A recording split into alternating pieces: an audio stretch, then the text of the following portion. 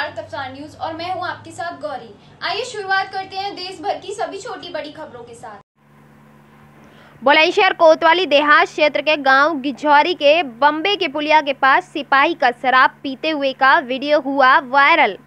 Viral video में अपने साथी के साथ रास्ते में स्कूटी लगाकर शराब पीता आ रहा है नज़र, और साथ बियर की कैन भी स्कूटी में रखता हुआ नज़र आ रहा है। आम राहगीरों ने शराब पीते पुलिसकर्मी का वीडियो बनाकर किया वायरल। वीडियो बनाने वाला शख्स वीडियो में बता रहा है, जगह का नाम साथ ही बोल रहा है, ये है यूपी पुलिस का दीवान, जो बाग में खड़े होकर शराब पी रहा है। वीडियो सोशल मीडिया पर हो रहा है, तेज़ी से वायरल। बुलंदशहर कोतवाली देहात में तैनात बताया जा रहा है, शराबी सिपाही। देखो, यूपी पुलिस का दीवान। होम गार्ड है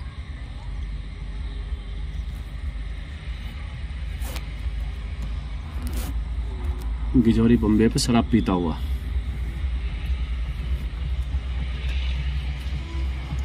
देखो, पैक हाथ में बंदा है।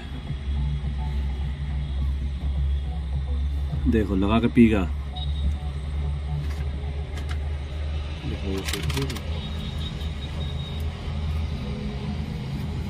ये ना वो लाइट पड़ रही है ना दीपक पीछे बोतल निकाल देंगे मेरी सीट पे?